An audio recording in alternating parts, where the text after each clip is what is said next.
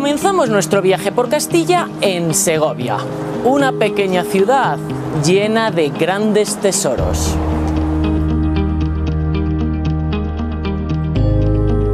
Al sur de Castilla y León se encuentra Segovia, mundialmente famosa por su imponente acueducto romano.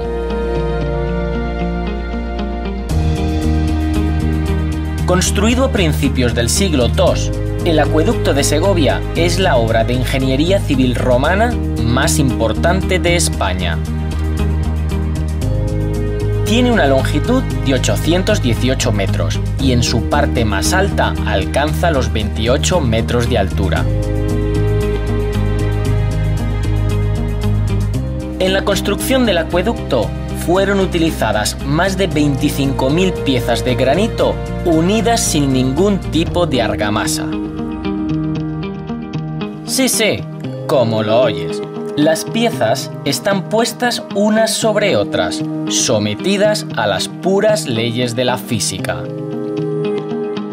Vamos, que se podría jugar a la yenga con el acueducto.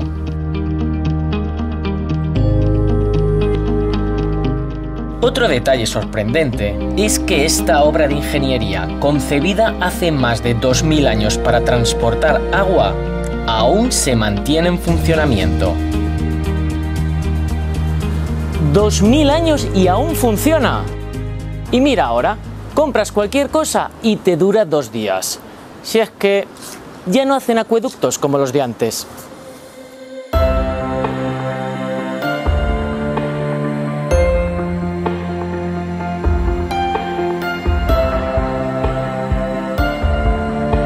Pero Segovia es mucho más que un acueducto.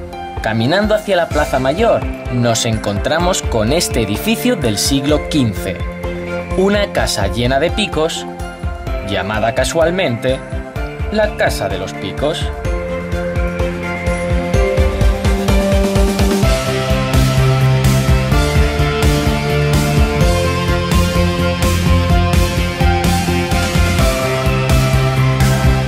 La Plaza Mayor nos encontramos la Catedral de Segovia. Construida en el siglo XVI, es una de las últimas catedrales construidas en Europa en estilo gótico. Y es conocida como la Dama de las Catedrales por sus dimensiones y la elegancia de sus formas.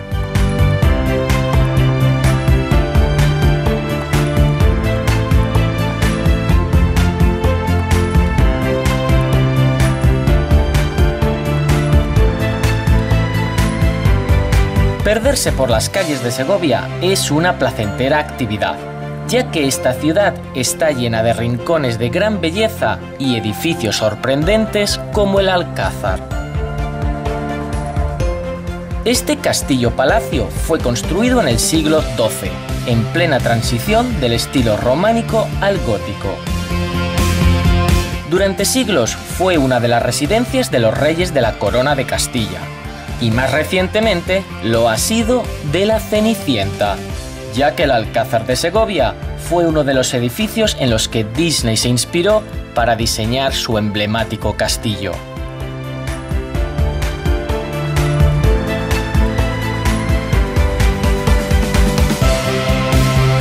Por todo este legado, Segovia fue declarada Ciudad Patrimonio de la Humanidad por la UNESCO en 1985.